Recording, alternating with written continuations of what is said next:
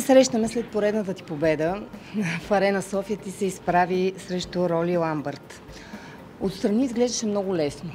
Обаче искам да чуя как изглеждаше матча през твоите очи, как премина. За мен това е работа. Не беше чак толкова лесно. Можеше да бъде и по-лесно, но противника беше добър, физически много добре подготвен. Опитваше се да руши играта по всякакъв начин и да ми пречи. До някъде с непозволени средства, но това е тема, която няма и какво да коментираме, защото е функция на съдята. Съдята така е решил, така е отсъдил. Та, за мен е важно, важен е крайен резултат, че аз съм победител. А, като деца, когато ни изграждаха философия за играта, за бокса, за, за матчовете, ни говореха, че е по-добре а, грозна загуба, а, грозна победа, отколкото красива загуба. В случая матча не беше много красив, нали, с а, толкова много клинчове, с толкова много удари с глави и така нататък. Много, много не приличаше на, на боксов матч, но пак казвам, а, до някъде и съдята го позволи това нещо. Ти обаче беше подготвен за неговия начин на игра. Това ли ти помогна да го победиш? Ами, да ви кажа честно, с пари партньорите, с които тренирах, не бяха, не бяха и чак толкова... Не, не, играха, не играха такъв стил с влизане с глави и, и не, не, а, на всяка цена търсене на клинч. И това, което правихме, беше по-скоро бокс, докато в случая приемите на Роли Ламбърт не бяха чисто боксови и те са забранени от правилника. Та, с една дума не съм се подготвил точно за това. Помогна ми, а, може би опита, рутината и желанието да победа на всяка цена, защото не мога да си го позволя. Още преди матча се говореше, че вероятно ти ще победиш, тъй като си по-добър. Само, че, че и той не е за подценяване, защото има голям хъс за слава. И в този смисъл, а, този хъс и тази злоба или по-скоро опита, кое натежава повече в един боксов матч? Ами, аз мисля, че а, преди матча имаше коефициенти, някъде мернах. Не съм търсил, случайно видях, че аз съм фаворит. Така ме определят, нали, като букмейкерите те си имат начини по които да определят нали, кой вероятно ще победи. А, но ето, че моят противник тук противопоставя нещо, което е доста, доста нестандартно, доста на ръба на позволеното, да не кажа направо си непозволено, като средства, като приеми, като неща, които да, да пречат на чисто боксовите средства, които аз предлагам. Сега това аз какво да го коментирам, това са просто ни факти, които а, не, не знам и какво повече да говоря. Нали, това е. Мисля, че не е толкова интересно, няма, няма какво да го въртиме. А, един боксер от Африка, от Камерун, той носи със себе си неговия нрав. Нали. Нормално е да, да търсим и там някъде, може би, отговорите. Но това е боксове матч, е нещо, нещо, което се получава между двама боксери. Един носи един стил, другия а, притежава друг стил и се получава нещо, което а, това е положението. Кой беше последният съперник, който беше истинско предизвикателство за теб? Така с по-сладка победа и по-трудна? Ами, и последният ми предпоследния ми матч вече също беше доста така добър като удовлетворение, като трудност, беше достатъчно труден силен физически, но в същото време се получи по-красив бокс. Видяха се красиви елементи, красиви неща, въпреки че играхме много близък бой, но без глави, без тези аркади и така нататък, които са следствие от тези непозволени действия. Също така мога да отлича матча срещу Ковалев, Ковалев, защото независимо, че аз го загубих или поне така прецениха, беше много равностоен като, като рундове, като превес, но просто с техничен, с добър боксер лесно се играе от гледна точка на, на бокса. Ние тренираме за бокс и накрая, когато срещнеш един много техничен, много, много прецизен боксер, Тогава е по-лесно да, да говорим на боксов език, както се казва. Тук в случая с Роля Ламбър това беше нещо различно от бокса. А и е по-приятно за гледане. Ами да, за публиката, за, за хората. Днес искам да поговорим а, малко повече за теб като ме, ментор и за вашата спортна школа с Кобрат. От септември като треньор дойде големия Димитър Штилянов. Той всъщност от години не живееше в България, обаче се прибра в България заради вас. Разкажи ми повече. Между вас има огромно уважение и респект. Димитър Штилянов е наш приятел още от годините на националния отбор. Той като личност и като спортист се е доказал не веднъж и два пъти, че е номер едно. Е, два пъти европейски шампион, безапелационен, побеждаваше руснаци и всички, които се изправяха на пътя му, световен шампион за, за военни, като знаем, че много от боксерите, добрите боксери са военизирани. Той стана световен шампион на Олимпиадата, загуби от Амир Хан. Та, той е доказано лице, доказан, доказан боксов човек и ние заради това се сетихме за него, че гледаме го, че обикаля, работи в Кипър, в Великобритания, на различни места, търси своето място, но, но нашето мнение беше, че мястото му е в, в България. Камъка се тежи на мястото. Поради тази причина се свързахме с него, казахме му нашите доводи, нашите аргументи, поканихме го и накрая се разбрахме. Така че ние сме доволни, че такова име, такова боксово лице при нас. А децата в залата осъзнават ли всъщност каква привилегия имат да ги тренира той? Според мен осъзнават. Не само децата и възрастните, които тренират, страшно много го оценяват а, и изпитват респекта него, което се вижда. Но и Штилянов си има авторитета, а, спокойно работи методично, правилно, не да претупва, да бърза, да, нали, да е един човек, който знае какво прави и как иска да го направи. Виско брат, не говорите толкова много, повече за мачовете всъщност, давате интервюта, не говорите толкова много за вашата зала, но нека да стане ясно. При вас могат да тренират и професионалисти, и любители, и деца, и големи, нали така? Разбира се, разбира се, абсолютно всеки човек може да тренира бокс. От децата, да речем, от 7-8 годишна възраст, когато вече могат да спазят така по-дълго време концентрация всичките до, до най-възрастните няма значение от пола, дали са мъже, дали са жени. Ник, никакво ограничение няма. Любителите си тренират с любители, т.е. не се смесват двете групи, така че да могат да, да си полезни и, и да не се натоварват един друг.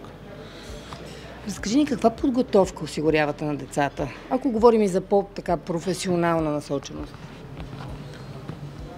Ами, децата, които имат потенциала, които имат желанието, които имат мотивацията и амбицията да станат нещо повече от просто част по физическо или част за малко за да се поизпутат, им даваме такава възможност. Организираме любителски стезания, на които като едно първо стъпало да, да пробват да влезнат в боксов ринг на, нали, на състезание срещу противник, с публика, с, с съдя, който а, е коректив тогава виждаме нали, кой може, кой не може, кой какви грешки допуска и развиваме процеса бавно и постепенно. Разбира се, това е отнема време, но когато имаме желание, когато имаме целенасоченост и търпение, мисля, че нещата ще, ще се получат добре. Добре, как постъпваш, ако при вас дойде дете, което има изключително желание да се научи да влезе в този спорт, обаче никак няма даденост за това. Еми, има такива народни поговорки, че от всяко дърво свирка не става. Мисля, че не е обидно, ако някой няма никакви данни и не може да се, да се впише в света на бокса, да знае и да, нали, да му се каже, че нали, може да тренира любителски, но че не, не би могъл да се реализира, защото това не е спорт като волейбола, като футбола, като другите спортни игри, които дори да загубиш голяма разлика, това са едни точки, които не нанасят никакви щети върху тебе. Докато в бокса не е точно така. В бокса а, нали, получават се и по-тежки удари, които не е необходимо, след като не си готов, не си конкурентен на твоите противници на нивото им, да се състезаваш. А ти лично успяваш ли да се включваш често в тренировките, макар и като ментор, да предадеш на децата от твоя добър опит под някаква форма? Да, доста често се включвам с голямо желание при това, защото за мен това е спорта, който ми даде всичко, което притежавам, което имам, в кавички казано. Това е нещото, е идеологията, която ме създаде като такъв човек, какъвто съм в момента. За това смятам, че ние трябва и да връщаме този опит, тези знания, които сме ги придобили на аматьорския ринг, на, на олимпийския, на професионалния ринг, а, през, през кариерата, която съм извървял. Не, не лек, не кратък път. А, също така смятам, че много важно нещо е, че не само за спорта, чисто човешки, трябва да даваш. Ако ти спреш да даваш, значи вече си излишен на този свят, няма какво има да... Нали, дори, дори, дори съвети, дори по някакъв начин подкрепа, дори насоки да дадеш на някой, като го виждаш, че бърка. За мен това пак е вид даване, не само в, в физическия смисъл. Така че да, чувствам го като дълг, като нещо необходимо за самия мене като човек. Не ме притеснява да, когато видя, че някой има нужда, иска да се развива, да отида и да му, да му, дам, да му дам напътствия, съвети. Смятам, че има хора, които го оценяват. Със сигурност го оценяват. Ти си идол за много млади хора, много млади спортисти. И като говорим за добър пример, аз знам, че ти много обичаш България. Знам също така, че си човек с позиция. Кажи ми как изглежда през твоите очи политическата ситуация в България? През моите очи политическата ситуация в България изглежда като тежка политическа криза от няколко години насам. Не съм ги броил колко са, но мисля, че няколко пъти държавата беше изправена пред избори, което е тежък финансов удар за данакоплаците. И тези хора не могат, да се разберат, не могат в парламента да се разберат нашите избранници, 240 на брой, защото сме парламентарна република. Та, най-общо казано в едно-две изречения, така изглежда за мен политическата ситуация в България. Сега отново ни предстоят избори, две в едно. Ти гласуваш ли? Да, да, за мен е, това е според Конституцията, това е единствен начин, по който ние можем да, да влияеме, да, да дадем нашето мнение, нашия глас. И затова го упражнявам. Това е мое право. питам те, тъй като ти си пак повтарям пример за много млади хора, какво би им казал? Защо е толкова важно да се гласува? Защото в днешно време голяма апатия обхванала а, младите. Ами според мен е важно да се гласува, защото това е, както казах, единствен начин да влияеме на, на ситуацията. А, Дадено ни е по право, след като станем пълнолетни граждани, да можем да гласуваме. Ако някой е недоволен от нещо, това е начинът по който да, да изрази недоволството си, дори като негативен вод, наказателен. А, после много обичаме ние като народ, като народ, психолог, като темперамент да коментираме нещата на маса или помежду си, но рядко излизаме от клавиатурите си и изразяваме мнението си. Нали, много обичаме да пишеме коментари и смятаме, че по този начин сме значими, но всъщност коментарите в социалните мрежи или в някои сайтове, форуми, по никакъв начин не променят обстановката реално, само, само пишем. За това начина да не, да недоволстваме, ако сме недоволни от нещо, искаме да промениме, е това чрез избори. А, много пъти се е случвало така, че това се е доказвало, мисля, че последния път, когато така ясно се видя, че хората имат глас и техния глас има значение, беше когато президента Румен Радев стана, стана президент на въпросните избори. Мисля, че ГЕРБ бяха противопоставили като кандидат Цецка Цачева. Тогава всички хора, поне по мое мнение или това, което съм чувал от а, политолози, че това беше наказателен вод срещу Цецка Цачева при което се видя, че хората масово гласувайки за нещо конкретно, техния глас има значение. Техния глас няма значение, когато те не гласуват, защото тогава оставаме да, да гласуват платения вод, корпоративния вод и, и други. Ромските гласове. Какво? Значи ние оставаме на този, на този сегмент да определя управлението в държавата и дневния ред. Затова, гласувайки масово, ние имаме, имаме силата, дори и чрез, чрез гласуване. Нашето спортно министерство не е много силно. Ти замислял ли си се, би ли влязъл в политиката? Много хубав живот си имаш. Извинявай за въпроса, но... Ами, България не се прави за спорта, както казахте. Това е истина. Това е факт. Спорта и всяка една друга насока биха вървели, когато има държавна политика в съответния ресор. Когато имаше, когато имало, когато имаше държавна политика в спорта, това се личеше по медалите от Олимпиади и от Европейския световни първенства. Последната Олимпиада, на която ние сме в пика си е село 88 година, когато България е на четвърто място по в общото класиране по всички медали.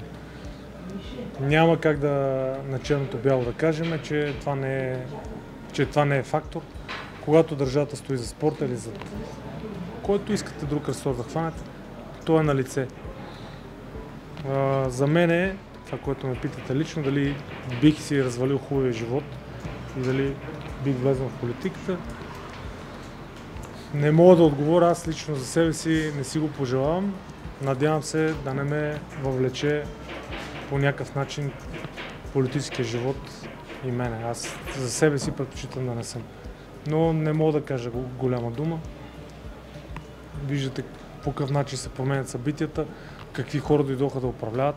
Всички се фащаме за главата, казваме този неграмотен, този няма обща култура, не знае колко моцата на река Дунав и така. Нали, да, и съвсем виждаме докъде падна нивото. То това вече, който и да хванем от улицата, той вече става за, за министър-председател или за член на Министерския съвет. Но не ме изкушава, не, това нещо в никакъв случай не си го пожелавам. Ако мога, бих си го спестил. Какви хора всъщност ни трябва в политиката? Защото от 30 години те всъщност колкото и пъти да гласуваме, а просто се върти един кръг. Какви трябва да са новите хора в политиката? Млади, богати? Каква е правилната формула според вас? За мен лично българина трябва да се избие от главата, от менталитета, бягането от отговорност. Защото ние от, от един век със сигурност не искаме да поемем отговорност и може би и, и изтечение на обстоятелствата, но като темперамент се оформяме така, че искаме някой друг да ни управлява, ние да не носим отговорност. Всъщност, българина не създава, не генерира управляваща класа. Каниме някакви хора от тук, от там, които реално нямат капацитета да управляват. Ние самите трябва да, да пожелаеме да се самоуправляваме и тогава няма да се оправдаваме с това и онова посолство. Когато ние си имаме критична маса, искаме да се самоуправляваме. Също така не само да го искаме, трябва да създадем такъв тип елит, който да може да управлява. Това е за мен много важно нещо, за да върви България напред. Когато не управлява това или онова посолство или всичките в купом си, си дърпат конците, нормално е резултата да бъде такъв. Стига толкова за политика. На финала на нашия разговор искам да те попитам. Също ти си много сдържан и скромен. Избягваш да даваш заявки но всеки си има едно морковче в живота, което си гони и му е супер висша цел. А, кое е то за теб? Световна титла или нещо друго? За мен е морковчето е здравето и семейството. България също, разбира се. А, няма как аз съм щастлив в моето семейство, ако а, като виждаме, както в днешно време виждаме, върва по, по улиците и на едно междублоково пространство един човек беше легнал и спи кошар не може да си щастлив, не може да си напълно доволен. Затова моето морковче е това. Аз да съм здрав, както казах на първо място, здравето, семейството и България. А професионално? В близкото бъдеще? Професионално имам амбиции за, и за правото, така че да, права сте. И професионално също имам така а, е, едно малко морковче, което се пазва джоба. За бокса? Ти си с няколко професии просто. Ами да, защото наточнихте казахте професионално. Аз а, бокса си го... А, грижа се за него, така да кажа. Старая се, стрема се, доколкото мога. Не, не мисля, че съм най-добрия, но се старая, стрема се. Ето, много скромен и ти пожелаваме всичко, което каза до момента да ти се сбъдне по най-хубавия начин, най-хубавия сценарий. Благодаря, благодаря за пожеланията. Пожелавам ви на вас също да, да се развивате по начина, по който на вас ви се иска.